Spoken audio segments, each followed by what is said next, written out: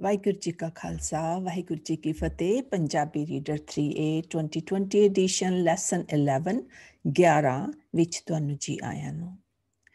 ਅੱਜ ਦੇ ਪਾਠ ਦੇ ਵਿੱਚ ਅਸੀਂ ਰੰਗਾਂ ਦੇ ਨਾਂ ਪੜਾਂਗੇ ਨਾਲ ਦੀ ਨਾਲ ਅਸੀਂ ਸਿਨੋਨਿਮ ਸਿੱਖਾਂਗੇ ਤੇ ਗੁਰਮੁਖੀ ਦੇ ਨੰਬਰ ਸਿੱਖਾਂਗੇ, ਠੀਕ ਹੈ? So lot to learn so lesson 11 ਰੰਗਾਂ ਦੇ ਨਾਂ ਕਵਿਤਾ। Read the colours poem there is a lot of vocabulary, grammar, and information in it. Looks easy, right? Okay, let's see. So listen to me, and then when we finish the video, you can read yourself. ठीक है एक दो तीन चार आओ बनो होशियार पाँच छ सात आठ बोलो बोलो सब चटपट नौ दस नौ दस सतरंगा दे नाम दस चिट्टा काला संतरी ਨੀਲਾ ਪੀਲਾ ਲਾਲ ਸਭ ਤੋਂ ਸੋਹਣਾ ਸਭ ਤੋਂ ਵਧੀਆ ਕੇਸਰੀ ਰੰਗਾਂ ਦਾ ਸਰਦਾਰ So it's a short poem, but there is so much vocabulary in it. Okay. Do you know the meaning of the word hushiyar? Hushiyar means intelligent, smart, um, awesome. Okay. And then chatpat. What does chatpat mean? Chatpat means quickly, fast. Then uh, what does kesari mean? You know the kesari, right? Kesari and santri are almost the same colors. And this one is the best color for the six. Kesari color is similar to santri, right? You can see it. There's only 40 words in here, so you should be able to read this in less than one minute. Okay, cultural literacy. In some parts of Punjab, of Punjabi, people say the names of colors with lalle per bindi sound. Try saying these color names with the sound. Do you notice the difference? Let's see if we can say. In these words, the meaning does not change with the sound, but in some cases, the sound changes the meaning of the word. Pila, pili, piliya, kala, kali, kaliya. Okay, the and, and what um, uh, words does the um, meaning change with the per bindi? There's a few like gala and gala. Okay, so there are some words that will change, but most of the time you will not notice any change in these words. Okay, so if your parents speak like this, if your grandparents speak like this with a low sound, make sure you say this sound and you learn, and they'll be happy for you. Okay. All right. Now, synonyms. Synonyms are the words that mean the same. In English, you learned about synonyms. These are different words that mean the same thing. We have synonyms in Punjabi as well. Let's learn a few synonyms. So, chitta is called safad. Lal is called surk. Chatpat, you can say chitti chitti. Naam, you can also say na.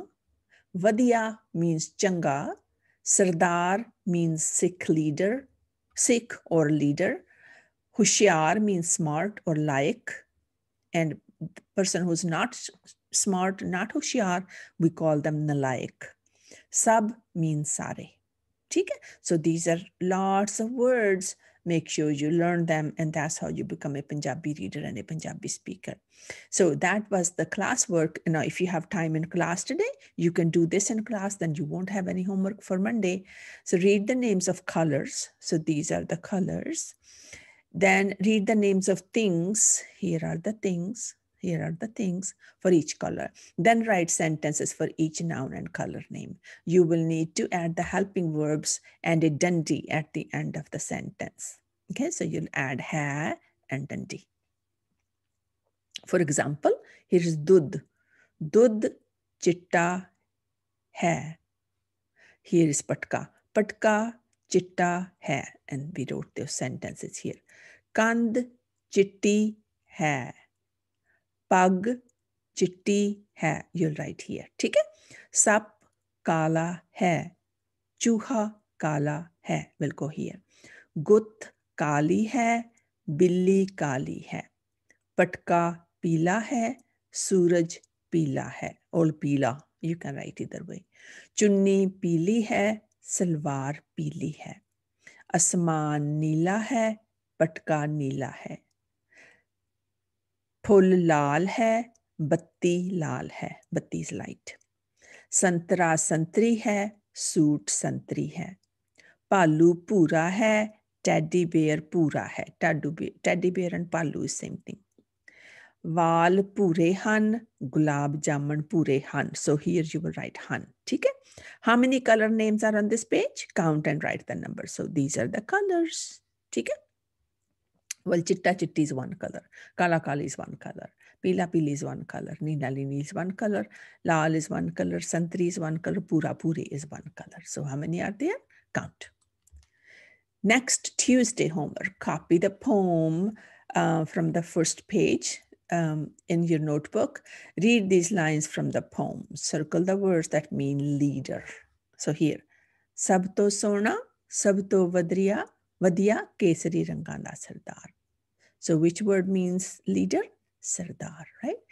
There are two words in the poem, thus and thus read the poem again and write the meaning of each word. So what does thus mean and what does thus mean? One of them means number 10, one of them means tell. Okay?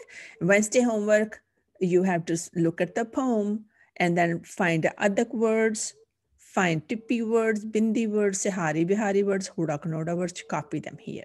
And on Thursday, you are going to write the Gurmukhi numbers. You know, you know the numbers here, but you have to know the numbers, these Gurmukhi numbers, okay? And copy them here four times, and that's how you will learn them. And that's our lesson for today. So we will meet soon in the next lesson. Until then, Vaheguru Ji ka Khalsa, Vaheguru Ji ki Fateh.